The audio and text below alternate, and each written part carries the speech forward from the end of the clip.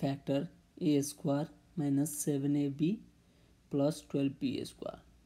So what to do first? We multiply the coefficient of a square 1 with the coefficient of b square 12 we get 12 and find out the factor of 12 which is 1 12 2 6 negative 3 negative 4 now find a pair of number which we multiply give us positive 12 and in addition give us negative 7 that's the 3 negative 3 and negative 4 so you can write a square minus 3ab minus 4ab plus 12b square. Now from this pair we take a as a common then we have a minus 3b now from this pair we take negative 4b as a common then we have a minus negative 3b from both sides we take out a, a minus 3b as a common then we have remaining a minus 4b and this is our final factor